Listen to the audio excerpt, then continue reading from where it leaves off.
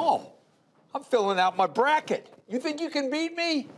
Go to gcpicksforkids.com and we have over $10,000 in prizes that we're going to give away. Well, it might be less than that because I'm going to win.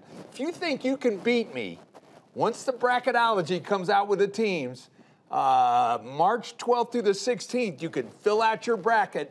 We have a suggested $30 donation, but you can play for free.